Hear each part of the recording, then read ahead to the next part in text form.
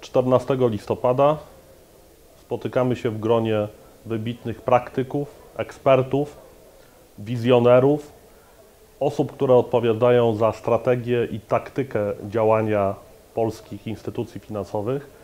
Na dorocznym święcie bankowym o nazwie IT at Bank, konferencji, która gromadzi osoby na bieżąco działające w sektorze finansowym, osoby, które odpowiadają za rewolucję dokonywaną w polskich instytucjach finansowych.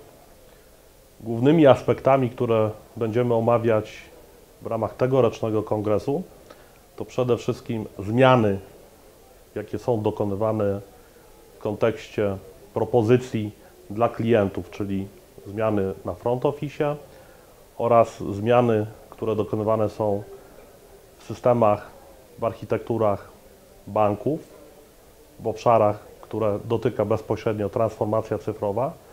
Będziemy starali się odpowiedzieć na pytanie, gdzie jesteśmy, w którym miejscu tych zmian dokonywanych na naszych oczach, na oczach naszych klientów, ale równocześnie będziemy chcieli porozmawiać o wizjach i planach czołowych polskich banków w zakresie dostarczania jak najlepszych, jak najlepszych jakościowo usług, głównie w obszarze usług mobilnych.